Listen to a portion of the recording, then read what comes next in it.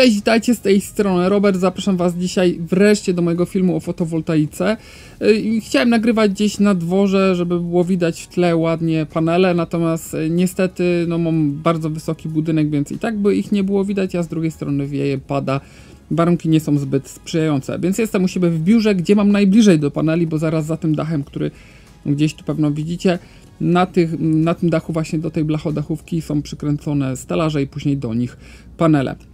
Dlaczego mówię, że wreszcie? Bo sama instalacja odbyła się 8 marca, y, natomiast y, uruchomienie gdzieś na początku kwietnia, mamy sierpień, 4 miesiące minęły. Ale to dobrze, bo w różnych warunkach atmosferycznych udało mi się to przetestować, w sensie w zależności od tego, czy były takie tygodnie bardziej deszczowe, czy bardziej słoneczne, opowiem o tym wszystkim, ale chciałbym to jakby przedstawić w postaci takiej mojej podróży, jak to mniej więcej wyglądało, ale przejdźmy do tego, po co panele, czy to jest potrzebne, wszyscy mają teraz panele, może jakiś trend po prostu jest, żeby mieć panele, kto nie ma paneli, ten gorszy.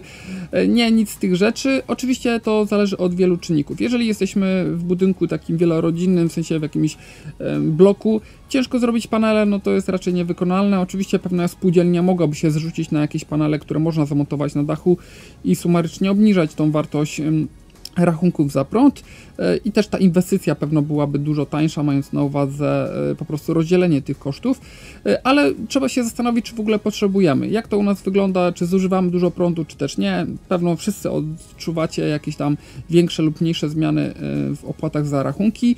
Moje rachunki niestety były bardzo wysokie i to z kilku powodów. I u mnie takim decydującym czynnikiem, oprócz tego, że jestem geekiem i lubię po prostu sobie patrzeć na wykresy, ile dzisiaj wyprodukowałem, ile zużyłem, czy dzisiaj warto się ładować, jeżeli chodzi o samochód, czy też nie, jest na pewno to, że mam rodzinę czteroosobową, e, która mieszka w domu e, i pomijam już tutaj to, że są pralki, suszarki, gotowanie, jak u każdego pewno z Was, ale też jestem geekiem i mam po prostu tego sprzętu bardzo dużo. Mówię o smart home, czyli o wszystkich kamerach, które działają 24 godziny na dobę, o żarówkach, które są wpięte na stałe do sieci, czyli jakby nie są odłączane od obwodów, tylko one są cały czas jakby na czuwaniu, bo są to inteligentne żarówki. Robot koszący, roboty sprzątające, masa, masa rzeczy, które rzeczywiście gdzieś tam obciąża cały czas jakby ten dom.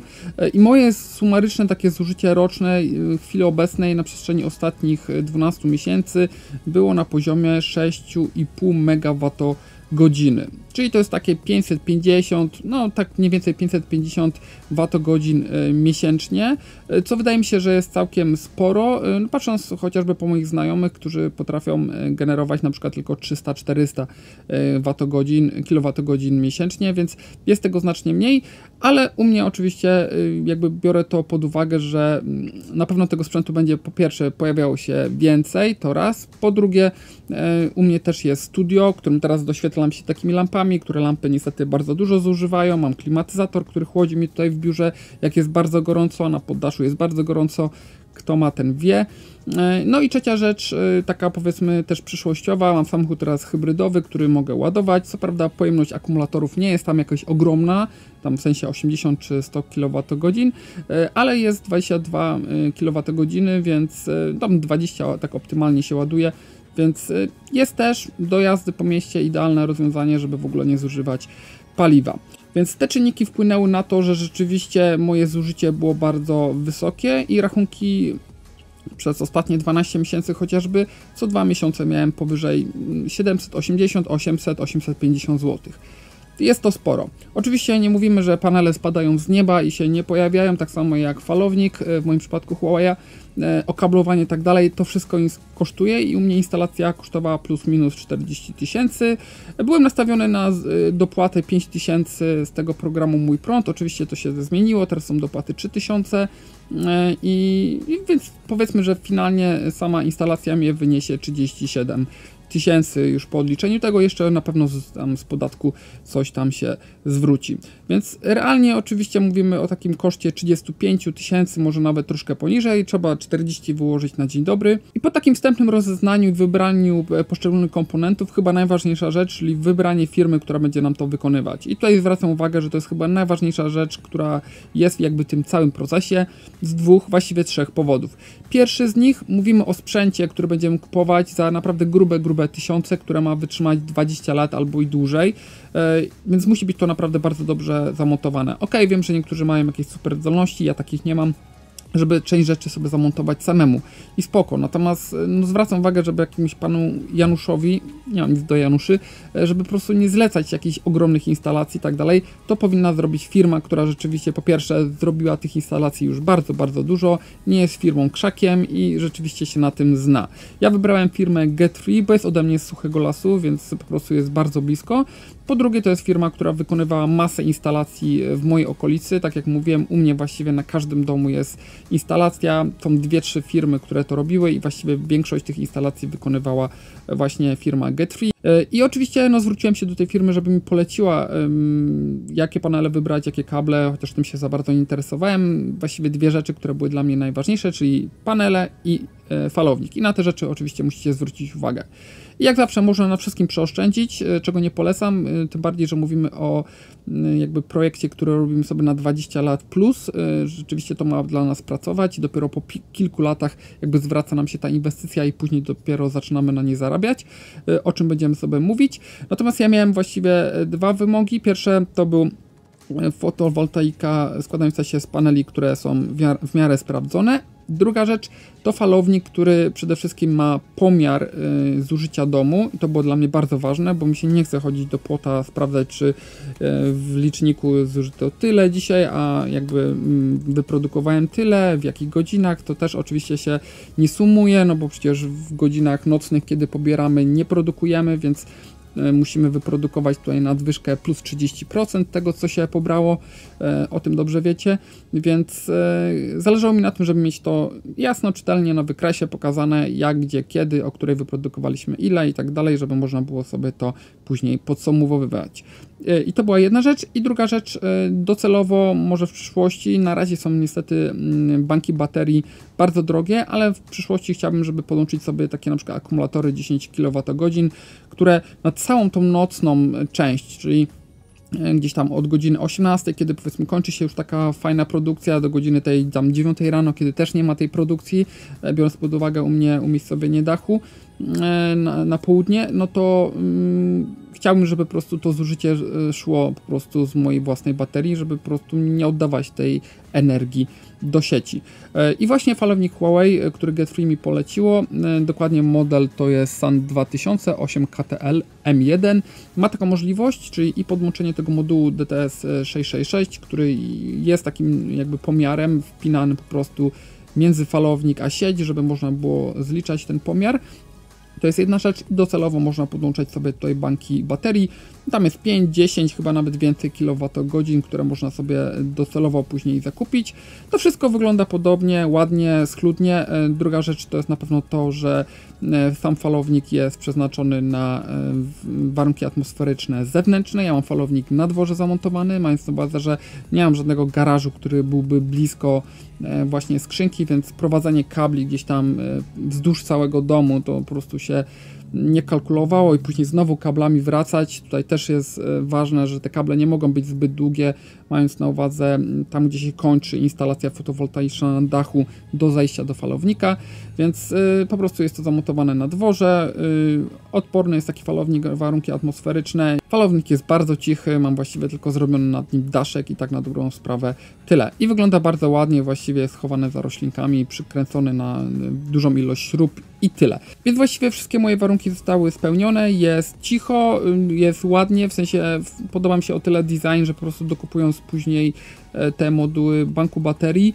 one wyglądają prawie identycznie, w sensie są zachowane stylistycznie, to rzeczywiście wygląda całkiem nieźle. Ten licznik energii, o którym wspominałem, jest wpinany bezpośrednio w skrzynkę energetyczną, e, powiedzmy w ogrodzeniu, więc tylko przeciąga się kable. Naturalnie całą e, podłączenie wykonywała firma GetFree, więc ciężko mi mówić tutaj, czy się łatwo podłączało, czy też nie. Oglądałem wszystko, myślę, że proces nie był jakoś bardzo skomplikowany, ale zwracam uwagę, żeby oczywiście wszystko oddać w ręce fachowców, e, skoro się na czymś nie znamy albo znamy się tak sobie. Więc tak wygląda kwestia sprzętu. U mnie instalacja trwała dwa dni, była trochę opóźniona, bo rano niestety okazało się, że na dachu e, leży delikatnie, delikatna ilość śniegu, e, więc troszkę nam się przesunęło to o kilka godzin, ale rzeczywiście w jeden dzień zostały zamontowane w części panele, później drugiego dnia zostały dokończone, więc e, nie był to jak bardzo skomplikowany proces, więc właściwie w dwa dni zostało wszystko podłączone, no i później jest ten taki najgorszy okres od momentu, kiedy już jest oddana ta instalacja, kiedy sobie wszystko skonfigurujemy. Y, mówimy oczywiście tutaj aplikacji, do której za chwilę przejdziemy. Jest ten najgorszy okres, czyli tego miesiąca, bo to energetyka na ogół robi tak, że w ostatni dzień możliwy przyjeżdża i musi wymienić licznik oczywiście w domu, czy też w ogrodzeniu, w zależności gdzie mamy. I dopiero od tego momentu mamy licznik dwukierunkowy, czyli taki, który po prostu zlicza i zarówno jakby pobraną i wyprodukowaną moc, bo dopóki nie mamy wymienionego licznika, to takiej instalacji tak na dobrą sprawę nie powinniśmy uruchamiać. I teraz przejdźmy do tego, co jest powiedzmy najważniejsze dla nas z punktu widzenia osoby korzystającej z fotowoltaiki, czyli z aplikacji, bo 99% czasu będziemy po prostu patrzeć e, na naszą aplikację, a nie na falownik czy też panele, chociaż na pewno je też zauważymy. E, ale aplikacja e, Fusion Solar od Huawei jest no, przeszła ze mną taką dość ciężką drogę. W sensie pierwszy miesiąc, kiedy zacząłem korzystać z tego, czyli w kwietniu, y, okazało się, że akurat były ogromne zmiany. W sensie Kwiecień, maj to były zmiany y, serwerów, zmiana aplikacji, nowa wersja aplikacji stara działała, raz działała, raz nie działała, więc rzeczywiście wiele pomiarów tam miałem takich dość niedokładnych. Czasami mi działał miernik energii, czasami go jakby nie wykrywało, y, ale było to wszystko oznaczone w postaci takiej, że, że były informacje, że są prowadzone prace, że tam zostaną ukończone kiedyś i że wtedy powinno wszystko działać znacznie lepiej. I rzeczywiście z biegiem czasu wszystko się unormowało, teraz właściwie nie mam żadnych problemów. Problemy występują jak w każdym falowniku, w momencie kiedy falownik zgubi zasięg internetu albo po prostu nie mamy chwilowo internetu w domu. E, I, I, zdarza się to w momencie, kiedy, szczególnie kiedy po prostu do falownika jest daleko, w sensie nie jest w budynku, tak jak u mnie jest daleko, niestety i czasami gdzieś tam w nocy zdarzy mu się po prostu zgubić e, jakby połączenie. Nie występuje to często, to jest kilka razy w miesiącu, nie jest to coś, co powiedzmy jakoś mocno przeszkadza. Zresztą nawet jeżeli te rzeczy nie zapiszą się na wykresie, one są zliczane w liczniku, bo przecież przypominam, że tym głównym licznikiem, e, na którym powinniśmy się opierać, jest licznik energii e, bezpośrednio u naszego operatora energetycznego, a nie to, co mamy gdzieś tam w aplikacji. Ale przejdźmy sobie do aplikacji, która wydaje mi się, że teraz już jest naprawdę bardzo dopracowana. W sensie ja nie widzę żadnych problemów takich, żeby mi się coś tam nie łączyło od wielu tygodni i teraz na wakacjach, jak byłem, mogłem spokojnie e, zaglądać do tej aplikacji. Rozwiązaniem zawsze wszelkich problemów, jeżeli chodzi o jakby brak e, wyświetlanych elementów w interfejsie, jest zawsze wyłączenie i włączenie falownika ponownie. E, wystarczy na 10 sekund, w momencie kiedy zgasną trzy lampki, które tam się świecą na zielono i właściwie wszystko jest już e, gotowe, więc e, jeżeli macie jakiś problem, to zawsze warto tak zrobić i to właściwie w 99% przypadków rozwiązuje problem. Natomiast sama aplikacja jest e, oczywiście, jak w każdym innym przypadku, jeżeli chodzi o fotowoltaikę, aplikacją, która pokazuje bieżące zużycie, bieżące obciążenia, jeżeli mamy miernik energii zainstalowany. Oczywiście, gdybym miał tutaj jakby baterię akumulatorów na wykresie, byłby dodatkowy element, który pokazywałby stan naładowania samej baterii, czyli ile udało się naładować baterii w ciągu dnia i później w nocy po prostu, że nie korzystamy z energii z sieci, tylko bezpośrednio z baterii. No i przechodząc już do samego panelu, tak jak możecie zauważyć, e, moc całkowita u mnie to jest 9,72 kW pika, jak mówiłem, to jest 27 paneli tych 360 e, longi. E, u góry mamy produkcja energii, tutaj 5,34 MWh od początku kwietnia, więc rzeczywiście sporo.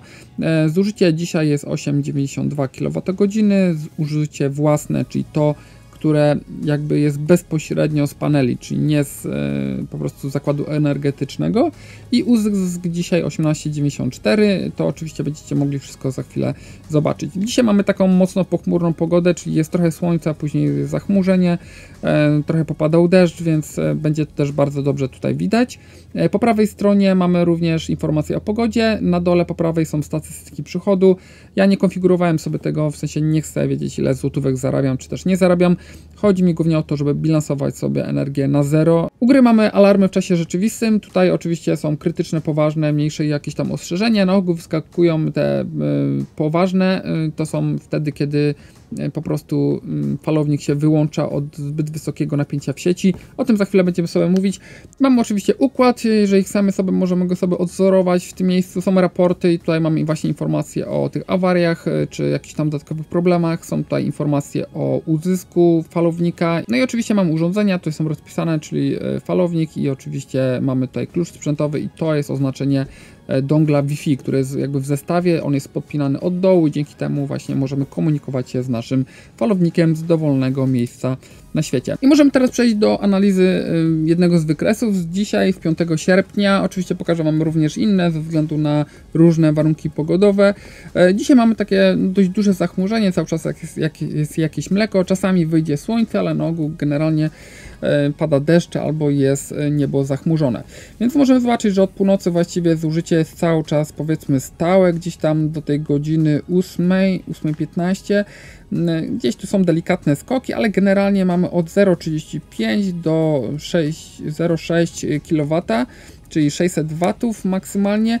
To jest stałe zużycie, które jest generowane cały czas przez dom ze względu na jakieś tam żarówki, które się palą cały czas gdzieś tam na zewnątrz, e, nawet w nocy, kamery, wszystkie czujniki, telewizory, które są uśpione, tak dalej, telefony, które są gdzieś podłączone, to wszystko cały czas zużywa energię, więc jeżeli macie w domu podłączane różne przedłużacze, gdzie są jakieś e, adaptery powpinane, to zawsze zużywa trochę. U mnie tego jest naprawdę bardzo dużo, bo wszystkie lampy są powiedzmy na stałe wpięte, więc one jakąś delikatną ilość prądu pobierają, e, stąd to zużycie powiedzmy jest takie dość duże, więc ja rano potrafię mieć na przykład 5 kWh już zużytych, czy tam 4 kWh e, przez noc, nic, jeżeli się nic nie działo. E, więc tak to mniej więcej wygląda. Teraz dla próby możemy sobie również włączyć tutaj klimatyzator. Mam nadzieję, że bo będzie to widać po prostu na wykresie. Włączamy sobie teraz klimatyzator i to na pewno gdzieś tutaj za chwilę urośnie. E, możecie zobaczyć. I teraz tak, żeby wytłumaczyć Wam to jak najprościej, dlaczego miernik w przypadku Huawei, ale też w przypadku innych falowników jest fajny, bo od razu mamy wszystko to na jednym wykresie. I możemy zobaczyć, że w momencie, kiedy rośnie nam wykres i jest tutaj na przykład e, no, moc wyjściowa 1, 1 kW, no to zużycie jest 0,41, więc własne zużycie jest 0,41, bo to jest ta energia, która jest bezpośrednio ze słońca jakby przetransferowana i pobrana na zużycie własne domu, a reszta jest automatycznie eksportowana do sieci.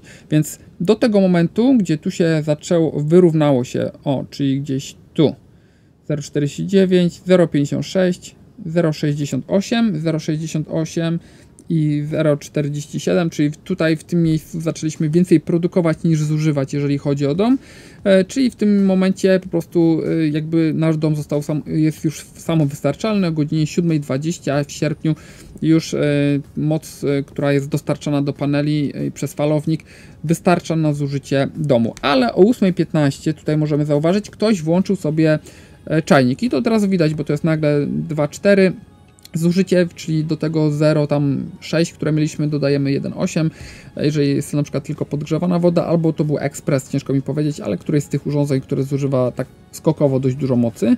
E, I możemy zauważyć, że tutaj nagle ten e, wykres wychodzi poza jakby to zielone, czyli poza naszą produkcję, no bo wtedy jeszcze nie produkowaliśmy tyle, żeby e, rzeczywiście mm, to pokryć. Mieliśmy produkcję wtedy 0,88, a zużycie 2,42, więc własne zużycie 0,88, a resztę musiało iść właśnie z zużycia energii z importu, który znajduje się tutaj, bo tyle dzisiaj importowaliśmy póki co tyle dzisiaj było samowystarczalności, czyli tyle pobraliśmy bezpośrednio jakby ze słońca, tak w skrócie. A jeżeli chodzi o eksport, no to mamy dzisiaj e, dokładnie tyle, czyli już 14 kWh mamy eksportu do sieci. E, no i możemy zobaczyć, że to się oczywiście tutaj waha w zależności od e, godziny, no i zużycie w domu, więc możemy zauważyć, że tutaj był włączony klimatyzator, bo to widać. Ja przynajmniej to widzę, bo już się przyzwyczaiłem do tego. Tu jest wyłączony, bo zużycie jest poniżej. Klimatyzator bierze gdzieś tam 1 kW, 1, 1 kW mniej więcej, może 0,8, ale do tego 0,8, które już mamy, czy 0,6, no to daje nam to 1,4 czy 1,2. Więc tutaj znowu widać, że jest włączony e, klimatyzator, tutaj znowu jest wyłączony, tu znowu jest włączony, tak cyklicznie go włączam w momencie, kiedy przychodzę e, do biura. Ale możemy zauważyć, że również tutaj słońce zaczęło wstawać, więc ta produkcja zaczęła być całkiem niezła, do 5 kWh E, kilowatów w pewnym momencie, no i później spadek, bo przyszły chmury i mamy do 1,6. Później znowu jakiś wzrost i znowu spadek. No znowu słońce się pojawiło. Przechodzimy do kolejnych części wykresu i możemy zauważyć, że tutaj przed chwilą włączyliśmy klimatyzator i znowu tutaj własne zużycie jest 1,27, y, bo taki mamy poziom zużycia. Wcześniej mieliśmy 0,95. Oczywiście klimatyzator wcześniej chodził, więc pomieszczenie jest nieco bardziej schłodzone, więc jakby jego zużycie jest też mniejsze, ale w momencie, kiedy możemy przejść sobie do naszego przepływu energii, możemy zobaczyć, że falownik teraz produkuje 6,30, no 364 kW. Zużycie mamy 1,269. Możemy w tym momencie wyłączyć klimatyzator i zobaczymy, jak od razu to zużycie e, spadnie po prostu.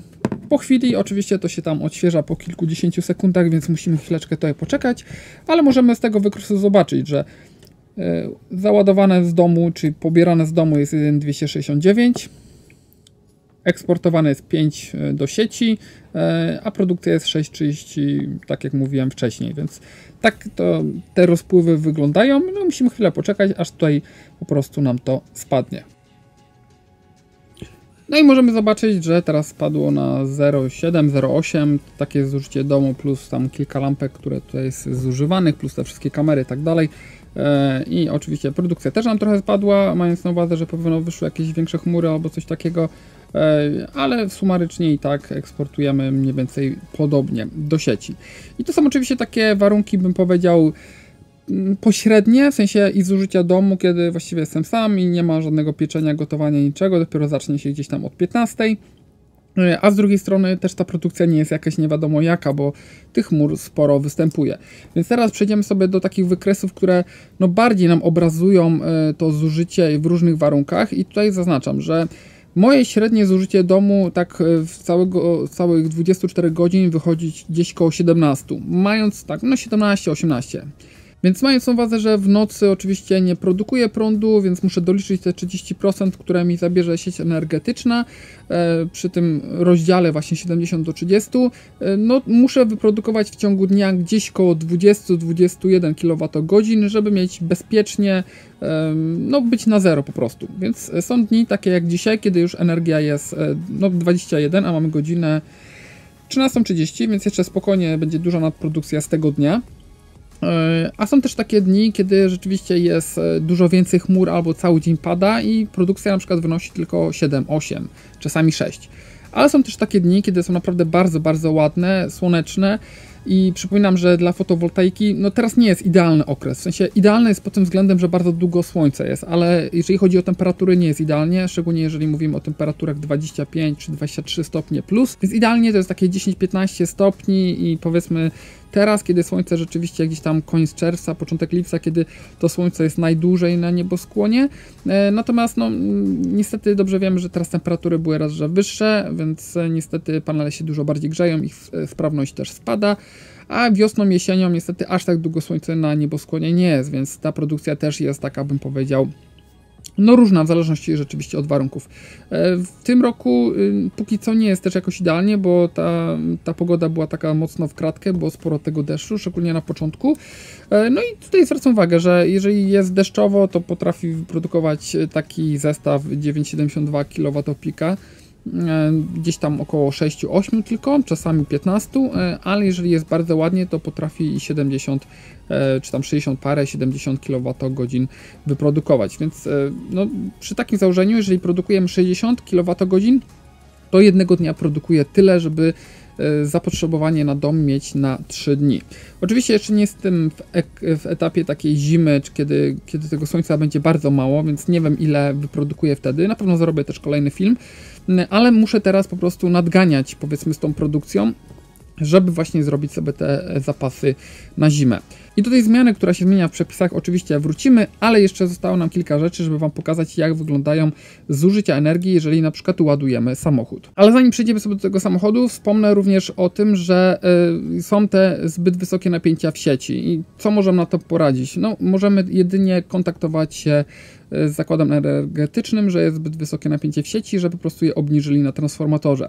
Niestety, jeżeli jesteśmy na końcu obwodu, to niestety no, innym może spaść za nisko napięcie. Jeżeli nie mają fotowoltaiki, to mogą im zacząć migać różne lampki albo telewizor się włączać wyłączać, więc nie jest to takie idealne rozwiązanie. Natomiast No problem jest niestety w tym, że jest dużo y, jakby fotowoltaiki, która produkuje w jednym czasie, wtedy kiedy jest słońce w danym obszarze y, i jeżeli jest zbyt dużo energii, niestety mm, no ta energia często nie ma gdzie ujść. Szczególnie widać to w weekendy, kiedy zakłady pracy, które są podłączone do, do tych samych transformatorów są wyłączone, więc wtedy jest za dużo po prostu tego napięcia ze względu na zbyt dużą produkcję i przetłaczanie po prostu tej energii E, do sieci, no i wtedy po prostu pojawiają się takie wykresy jak tutaj, czyli po prostu jest ładna produkcja, ładna produkcja, i nagle widzimy, że zużycie, je, znaczy, że moc wyjściowa jest zero. Po prostu falownik się wyłączył, bo było zbyt wysokie napięcie w sieci.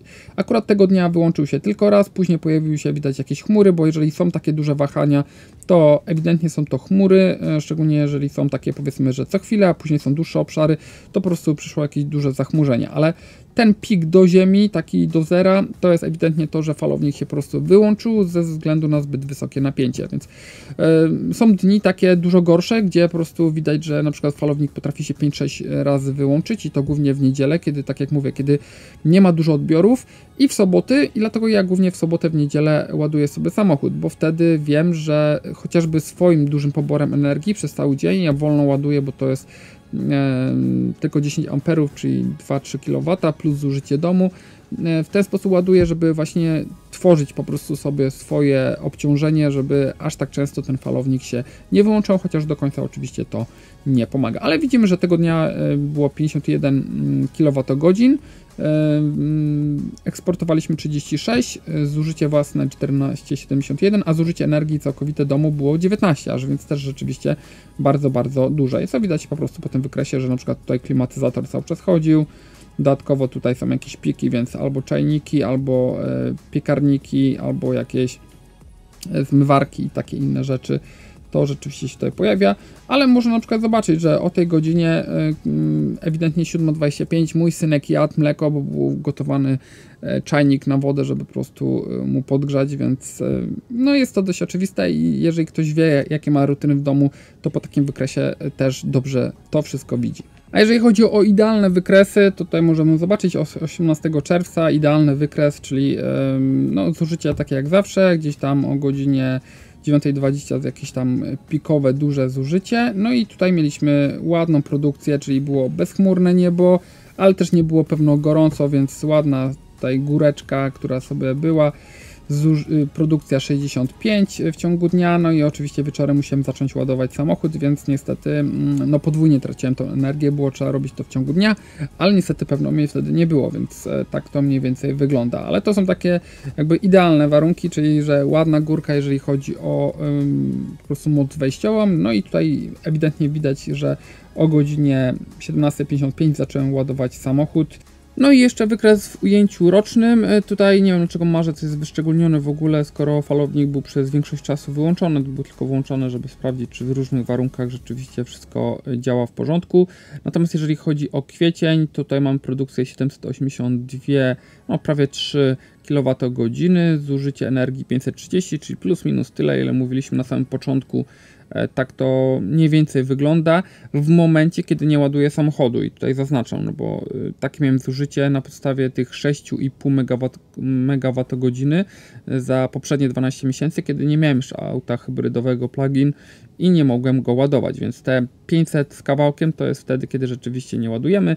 Prawie 900 kWh w maju. E, wydawało mi się, że więcej powinno być w maju, bo tam rzeczywiście pogoda była naprawdę bardzo dobra. Czerwiec y, prawie 1,4 MWh, zużycie 601, no pewno tutaj do tych 500 iluś możemy doliczyć sobie zużycie samochodu. Zresztą mogę to monitorować w osobnej aplikacji, jeżeli chodzi o samochód. No i teraz lipiec, który był bardzo deszczowy, 862 kWh, zużycie 573, czyli widać, że też kilka razy ładowałem. No i teraz w sierpniu, początek dopiero, to produkcja jest 84. No na razie ten sierpień to wygląda tak, że jest cały czas deszczowy i cały czas pochmurny, zużycie 25 i zużycie własne 15.